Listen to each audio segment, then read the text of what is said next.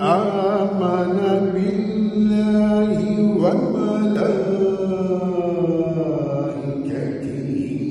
وكتبه ورسله.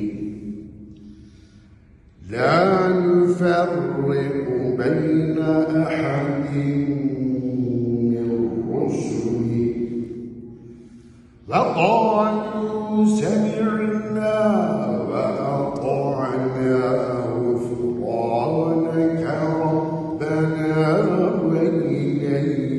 المصير.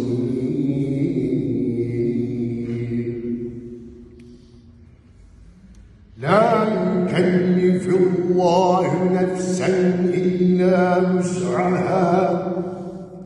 لها ما كسبت وعليها ما اكتسبت. ربنا لا تؤاخذنا